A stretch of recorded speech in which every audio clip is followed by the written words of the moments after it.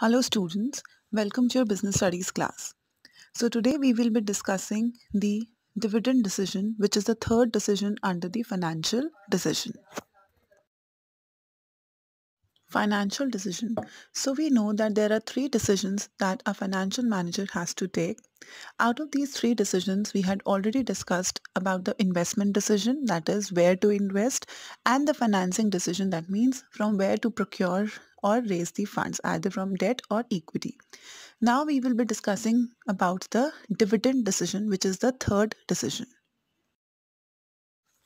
Now the dividend decision. So before discussing about the dividend, uh, dividend decisions, we should be aware of the two important terms that are there under the uh, dividend decision are the dividends and the retained earnings. So what are dividends basically? So dividends are the portion of divisible profit that is distributed to the owners, that is the shareholders. So as the dividends are the portion of the profits, so obviously the dividends are given only when the company has earned profit. This we all know that shareholders get their return only when the company has earned profit, not in the cases of loss. So dividends are the portion of divisible profit which is distributed to the owners, that is the shareholders. So these are the result, uh, result of current income for the shareholders. What are retained earnings? This we had studied in class 11th also that retained earnings are the proportion of profits which are kept in that is reinvested in the business for the purpose of business growth, business expansion or reinvestment.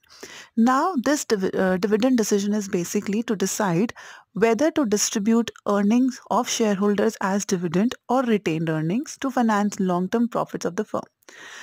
How much amount is to be distributed as a dividends to the shareholder how much amount is to be kept aside as retained earning this is what we are going to discuss or decide in this particular decision that is the dividend decision. So this must be done keeping in mind the firm's overall objective of maximizing the shareholders wealth as we know that the objective of financial management is what is to maximize the shareholders wealth. See students we cannot or we can say that the company cannot just randomly decide that in this year we are going to give this much dividend this year we are going to keep this much as a retained earnings. There are few factors that they need to keep in mind before deciding about the dividends and the retained earnings. Because if they have given more dividends then they may not uh, they may, are not keeping the amount for the future growth which is also important.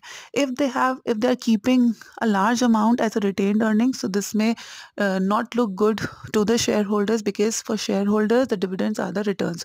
So they may be not happy with the uh, decision of keeping so much amount of uh, amount of profit as a retained earnings so they may start disinvesting their interest from the company. So therefore this decision needs to be taken very carefully by the company that how much amount is to be distributed as dividend and how much amount is to be kept in as a retained earnings. So for that, there are a few factors that we will be discussing. Now let's discuss the factors affecting the dividend decision. The very first factor is the amount of earnings. So as we know that dividends can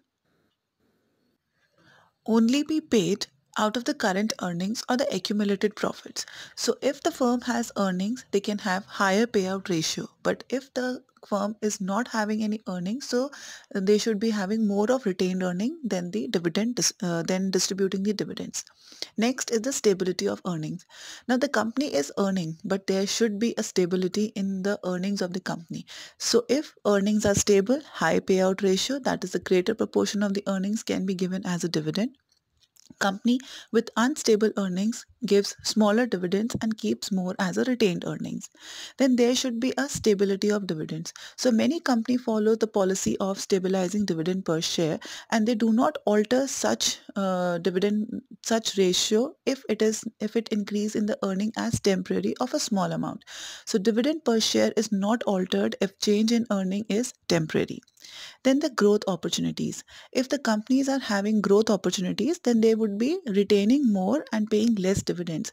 But company with no growth plans pay higher dividends to their shareholders provided they have enough cash to meet their uh, operational activities. Next is the cash flow position of the company. So if the company is having surplus cash, the company may declare higher dividends. But in the case of shortage of cash, the company may declare no or very low dividend and they may go for more retained earnings. Then we have to keep in mind the shareholders' preferences also. So if the majority of the shareholders prefer current dividends that whatever the current earning is they want dividends on the basis of that. So in that case a company can have a high payout. But if most shareholders want the company to grow by reinvesting its earning and give them a capital gain in terms of an increase in the market price of shares so they have a low payout ratio and more of the retained earnings then taxation policy also helps in deciding that how much amount is to be given as a dividend. So depends on the taxation policy of the government. Dividend income is tax free for the shareholders but the company has to pay taxes on dividend paid to the shareholders. So if the tax rate is higher, company may prefer to pay less dividends but if the tax rate on dividend is lower, the company may declare higher dividends. Next is the stock market reaction. So the declaration of dividends has a positive impact on the goodwill of the firm in the market and it will also increase the market price of the shares and vice versa.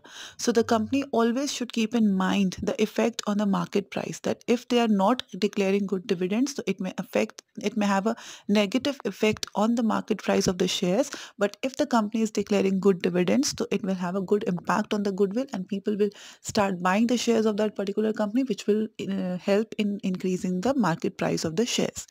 Then access to the capital market. Large and reputed companies have easy access to the capital market. So therefore they do not have to keep much amount as a retained earning as whenever they require fund they can easily raise it from the capital market. Whereas smaller companies do not have such access to the capital market so they have to focus more on the retained earnings. So if it is difficult to raise funds, firm should have a low payout ratio, retain funds so that it can generate funds internally. Then the legal constraints. Before declaring any dividends, the provision of the Companies Act that place restriction of dividends have to be adhered to.